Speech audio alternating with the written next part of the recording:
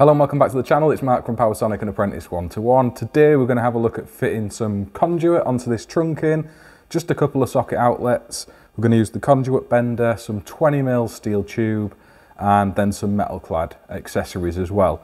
Now first up, I've got a little offcut here already um, from another job. So we're going to make use of this. It's a good length, it just needs making it into a straight piece. And we've already got a threaded end. So that's going to live somewhere over here and we're just going to drop a socket outlet onto the end of that. So that's a fairly straightforward one. We need to cut this one off flush. So we can do that in a second as well. But we're going to add another second socket.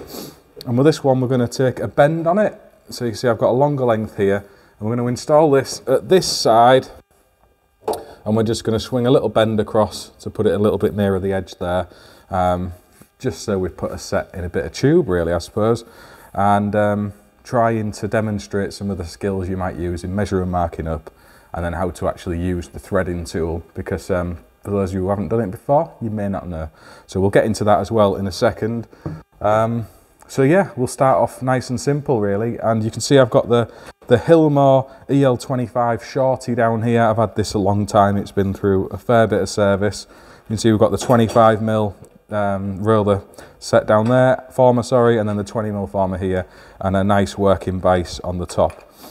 Um, you can use various methods of cutting your conduit.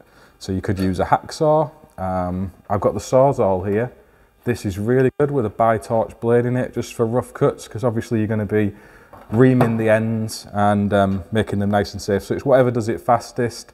You can use a jigsaw as well, which I'm going to demonstrate in this case because people don't believe you can do it on tube, but you can. Um, and again, metal cutting blade on this one. PPE is important, so make sure you've got your gloves and glasses on. Nice high speed, the metal cutting blade, and you can actually use the vise as a as a level so you get a nice straight cut which is very very handy when you're working with conduit so I'll just show you how to do that now.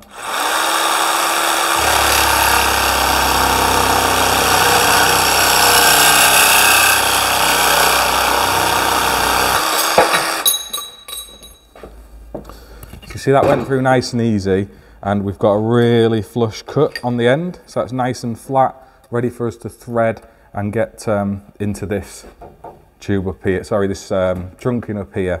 So we can come to that in just a sec, but we're gonna thread a nice end onto this end, um, couple it into our metal clad back box, and then we're good to go. So just bear with me one sec and I'll get that set up. So you can see we're back into the um, vise now. I've pulled it through a little bit further because we're going to cast the thread onto this end first. So I've just reamed the sharp pieces off the inside.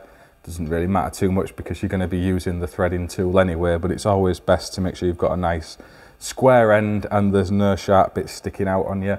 Again, you want some cutting compound, plenty of this because it enables the tools to last a lot longer. So a nice liberal application of that onto the end. Your threading tool, you have your main base plate here. You then want to insert the right size um, tube holes. This is the 20mm fitting. That goes in the base there to protrude out of this end. So that's where the tube's going to insert. You then want to put your die on. And again, make sure you get the 20mm die with the right cutting thread in. There are variations. Uh, this is an F4P set, I think. Whoops. Yeah, this is an F4P set that I've had for quite a while.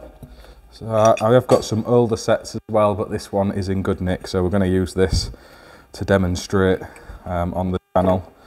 And so you put your arms in to each end as well. This allows you some leverage while you're working on the tube. And then finally, or you could put these on before the arms, I suppose. Doesn't really matter. Uh, the holders, and this just clamps the um, threading part of the tool into place so it's not moving around because you need to make sure that that's square and firmly held in position. And I'll show you that a little bit closer up just so you can see what I'm talking about. So if you look there, there's the two grooves in this um, M20 threader and you want to make sure they line up with these clamps so it's all fixed firmly into position. Then you want to make sure you get a good application of some of the spray into here as well and set to with your threads. It is as simple as that. So you want to get it on there. The first few are always the most difficult to get it going. So you want to try and keep it square on the metal. We don't want to go off on crazy angles, just go slow to start with. You'll feel it start to bite as it has done there. And you just want to back it in, back it off a little bit. And then it's just a slow process. Wind it in. Spin it back out a bit just to clear off the swarf. And then go again. Some people spin more turns on before they back off than others. Some people do short amounts. As long as you're cleaning out the muck as you go, it enables the tool to last longer and you get a nice neat cut. There are um, tools you can buy to do this, uh, power tools, and they are very, very handy if you're doing lots of tube work. It saves on the manual labour. Again, just make sure it's cleaning out. You've still got plenty of lube on there. And roughly speaking, you want to come to the back edge of the former so you know you've gone far enough with your cut because you want to make sure there's enough thread on there for when you go inside the box to get a good um, fitting on. I'll show you that in just a second. So you can see we've got a nice thread on there now. I'm just going to drop this coupler over the end just to make sure that you know it's actually going to work before we get too far along. Uh, you simply twist that on. It should go on pretty smooth because there's plenty of the cutting compound obviously still in there. I've not wiped it off yet and that's gone on nice. Now obviously when you come to join into your metal clad back box you don't insert the threads, well you can if you use the um, female lock nut I suppose on the inside of the box but it's best if you use a coupler on the top and put a brass um, nut into the end, I'll show you that in a second and then you've got a good um, solid connection into the box and you're not going to catch any of the edges of your cable in as you come to uh, wire it out.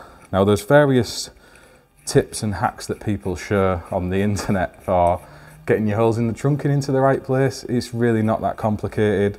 Um, if you've got an especially difficult one with loads of stuff in the way, your best bet is to use a measurement. So you can measure to the center of the hole off the back of the box.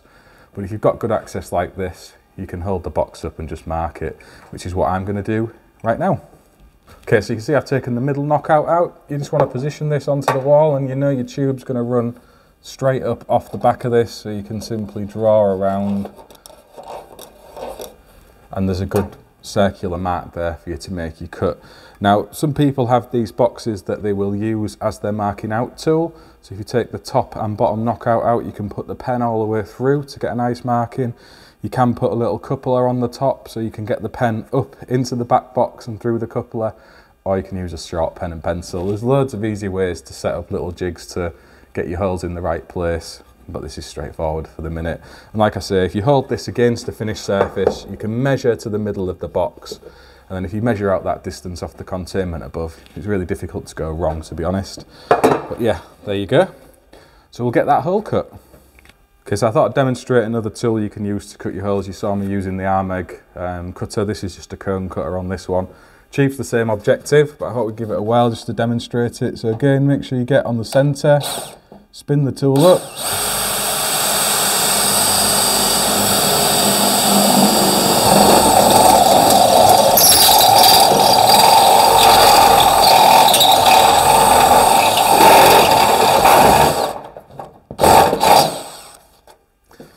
And run it through. Now, the acid test is when you hold the box up to see if those holes line up with each other, and they do, so I'm happy with that. That's going to give us a straight through connection. So if we get our little tube, wherever I misplaced it, and there's already a coupler on this end, I'm just going to get another one for this end and a couple of the nut inserts. Okay, so loose fit them first and just get that going. So we've got a bite on there now. I'll twist that in. We'll give all this a nip up in a second and I'll show you what tool we're going to use to do that. We've got that end in there. And then this end.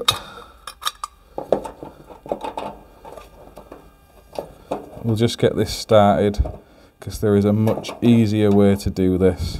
So that's held loose now. I mean, you could screw the box to the wall first, of course, that would have made sense, but I thought we'd um, demonstrate this this way. Uh, let me see if I can find the implement I'm looking for. Okay, so I've gone for this tool here. This is the Bush and Brocket set.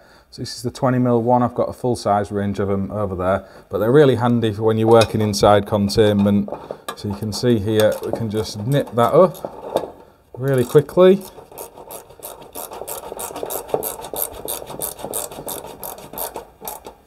Easy as that. And we'll just nip that one up in the top as well. There we go. You see, um, that was testing my vertical challenges, getting up there to do it. But that's now, um, it's in, it's onto the trunking. Is all you're left to do really is secure that back to the wall. May as well do that now while we're at it. Right, so I'm just going to screw this back to the wall now. There's the big debate you might have seen or not seen online to do with panhead screws and counterhead screws. I'm using counterhead wood screws here because we've got this wooden backboard. I've just put some screw caps on so it stops any of the edges sticking out before anyone gets upset. So I just screw that back and we get a nice tight fixing. What's not to like? Okay, so that's the short little length done, dead straightforward.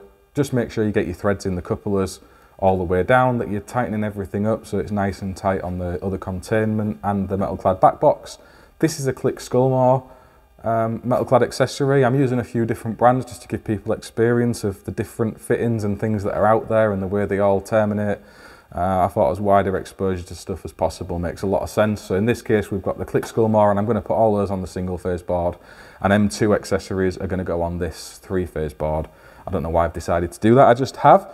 But now we're going to put a little bend in. Now this one, I was just going to do a little set over there, but I thought we'll keep the, the length, you know, a reasonable distance because the idea is this is going to be for people to come and practice pulling singles through and just a sh little short daft length isn't that much of a challenge.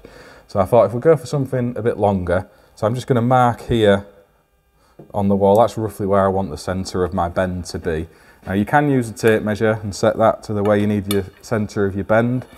Um, but in this case, we can just eye it in. Now, there is marks on this Hilmor former from years of use, so I know where I need to position the tube for the centre of the bend. Now, but you can um, take measurements to help you form these bends. And again, if you go off and watch GSH, I'm not going to do this as a suck eggs conduit bending class because Gary has done an absolutely incredible job with that. And also Mike from Residual Current have gone through this in great detail already, so I don't want to repeat the content that's out there. If you go and check their channels out, there's some incredible conduit tips and tricks. And I'm hoping to maybe get Mike to come down here and demonstrate some of that in one of these booths as well um, because he resonates that to his audience in a far better way than I can. But yeah, just set a simple bend. I've got the marker there. I know that that's the center of the bend. I'm just going to lean the former down onto it for the minute, just so there's some tension there, just to hold the tube. So I use this little level from Klein, and you can use it to set an angle as well as know what is level. So if I hold the zero just to get it flashing,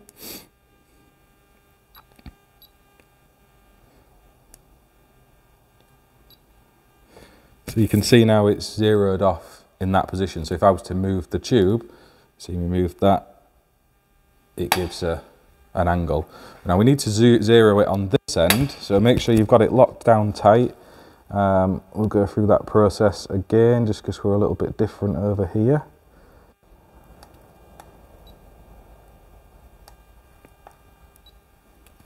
So you can see now it's going through the process of zeroing off. It's just trying to make sure it's got a level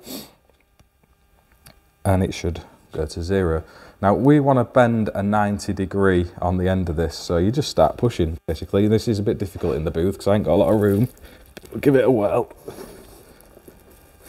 So I can see there up to 61 degrees. 89.6. Uh, I'm going to say, I'm going to call that as a 90. So we'll lift it out and have a look at it. Okay, now there's various ways you can check if you've got a 90, you can use a set square. You can use a square part of the room that you may know is already square. You can hold it up against a bit of distribution board and eye it in yourself. I can see that's pretty square. We hold it against the containment here. See we've got a nice bend there.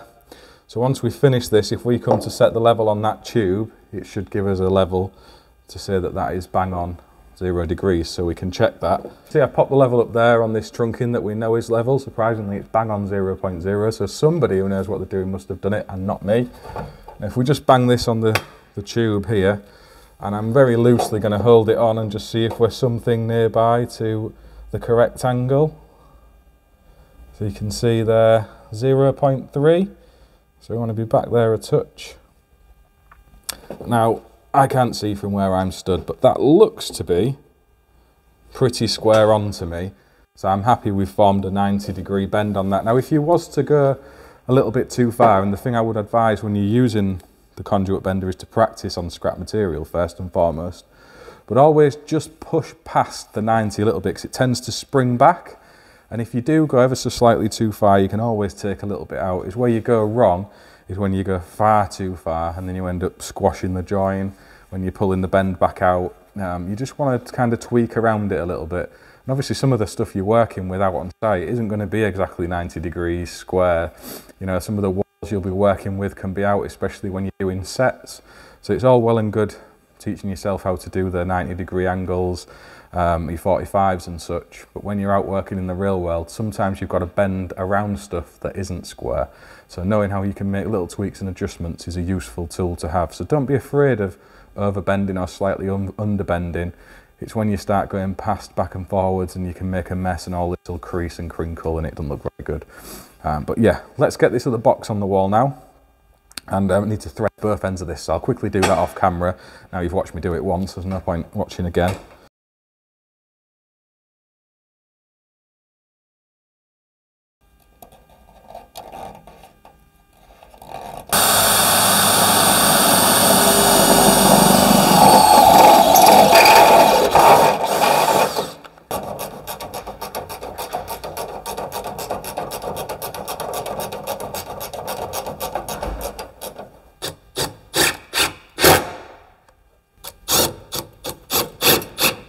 Okay, so you can see we've got that on zero degrees there, so that's a good indication that our bend is right. We're horizontal on that plane. If we then check across here, you can see we're at 89.95. So it's, it's pretty close. That's just probably a bit of inaccuracy due to the saddles not being in place. There's a little bit of movement on there. So that's not a bad effort. Um, if I come around this side, you can see we've got it fairly square and perpendicular to this board. It looks like a nice even gap. So that's the thing when you're working around existing containment and other finished surfaces. Sometimes what's square and true can look most out of place when you're working with things that are already there. So it's well worth checking the angles of things. So we'll have a look at some angle, gauge, angle gauges and gauge finders in some future videos. So if you are working off a corner that's not square or you've got a bit of trunking that's already open, it doesn't look quite right and you want to match in with that rather than set something that is square because it's going to look better to the eye then I'll show you how you can do that as well in some future videos. This is all set now for somebody to come along and drop their singles in down to this low level socket point so you can get used to working on your knees with some knee pads or as Jamie Blayton says sit on a box and we've got this one over here that's at a nice height for somebody to come along and, and work their magic um, and wire this out as well. Hope you've enjoyed this video.